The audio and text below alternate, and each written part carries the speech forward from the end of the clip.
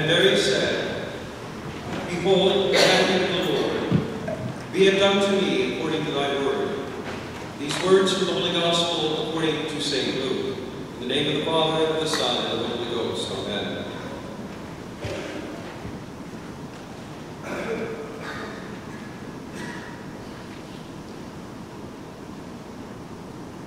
At the center of salvation history stands this moment. The moment awaited since the fall of man, when the incarnation of the Son of God would await the reply of the young virgin. Be it done to me according to thy word. St. John of Damascus writes, So that after the assent of the Holy Virgin, the Holy Spirit descended on her, and granting her power to receive the divinity of the Word, and purifying her, and granting her power to receive the divinity of the Word, and likewise power to bring forth. Whenever we assist at the holy sacrifice of the Mass, we place ourselves in this moment. At the word of Our Lady, the Word was made flesh and came to dwell in the womb of the ever-Virgin Mother of God. At the words of our Lord, uttered by his unworthy minister in the holy sacrifice of the Mass, bread and wine become the body and blood, soul and divinity of Christ. While the mystery of the Incarnation was dependent on the assent of the Blessed Mother, the mystery of our Lord's presence in the Blessed Sacrament is dependent on the Mass. It was through Our Lady that the second person of the Blessed Trinity took on flesh, and through the Mass that Christ was made truly present on the altar.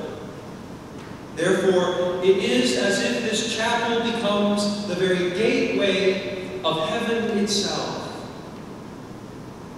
The external signs that accompany this form, this form of the Roman Rite aid in our understanding of the great mystery of the Mass.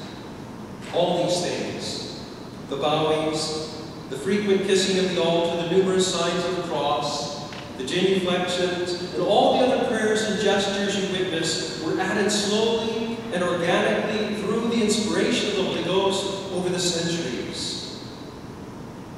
The essentials of the Tridentine Mass, so called because it was codified by Pope St. Pius V as a result of the Council of Trent, date back nearly 1,500 years to the time of Pope St. Gregory the Great. The Archbishop of San Francisco recently observed, with that form of Mass you can feel the Church breathing through the centuries. Why, therefore, all the externals of the extraordinary form? Why the Latin, the incense, the various genuflections, signs of the cross, the repetition, the vestments, and so on? Because we are men and women, not angels. We need these things to bring us out of ourselves to the worship of God. We are not pure spirits, without any need of externals to lead us to a deeper understanding of the love of Christ. We are weak and sinning mortals in need of guideposts to help us enter into the Eucharistic mystery. This form of the Roman Rite understands that creatures of flesh and blood must have signs pointing to the reality of what is taking place on the altar. even in the orientation of the Mass, something we call ad orientem, to the east. We see that the Mass is not about us, but about God. Instead of the priest facing the people in this form of the Roman Rite, everything is done to hide the identity of the priest as a man who is acting in persona Christi, in the person of Christ, and to focus our attention on the oblation taking place on the altar. It is all about the sacrifice, the same sacrifice of Calvary made present again in our midst. It is not a different sacrifice, but the same sacrifice. It is only in the manner offered that it differs. I think this is why so many young people often take so readily to this form of a Mass. It represents a stark contrast to the secular world in which we live. We are surrounded by the mundane, with very little to support our Catholic faith. And the younger generation seeks even greater signs and symbols to take them out of the secular world and place them in the world of the divine. Again, as on this solemnity of the Annunciation, when we commemorate the second person of the Blessed Trinity becoming man, we do so in the context of the Mass, in which bread and wine are changed into the true and actual body and blood along with the soul and divinity of Christ. This is an awesome reality. In the Blessed Sacrament, we meet that very same Christ who was made present in the womb of the Mother of God when she uttered those words, Be it done to me according to thy word To help increase our faith in this reality. We have the prayers, the signs, the symbols, the vestments, the language, and all the elements that became a part of this Mass over the centuries. It is my earnest hope, although unworthy though I am as his instrument, our Lord will awaken in some of you a deep love for the extraordinary form of the Roman Rite, ever ancient and ever new, as a means of deepening your faith in the Incarnation and in His most august Eucharistic presence. In the name of the Father, and of the Son, and of the Holy Ghost,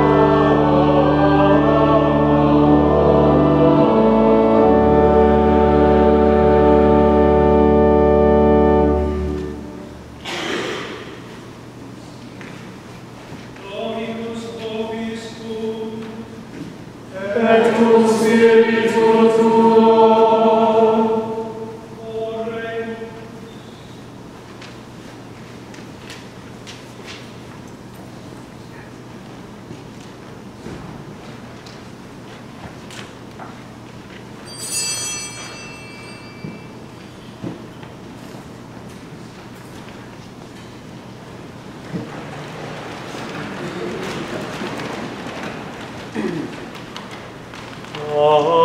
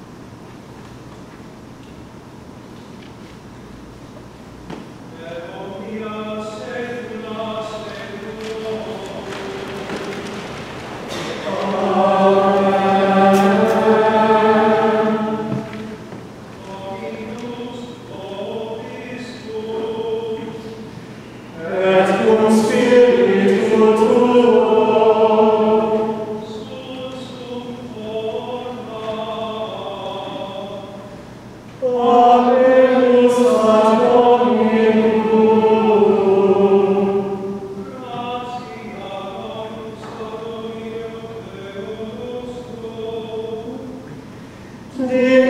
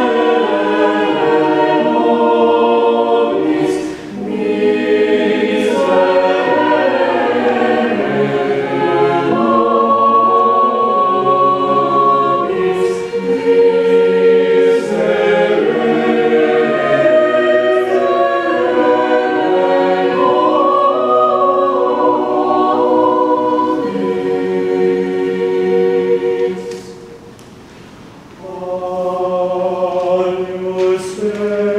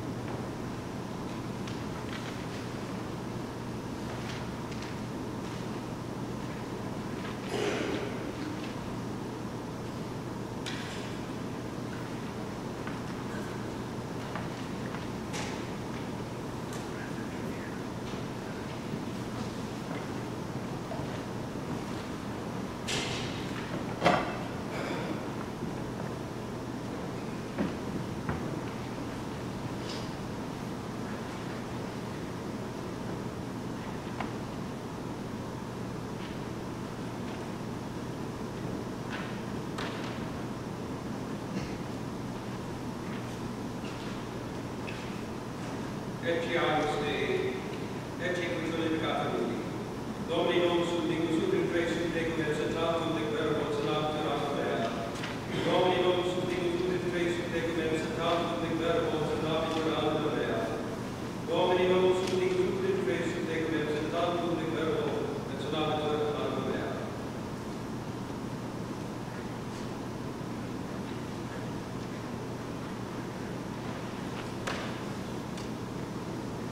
Ecce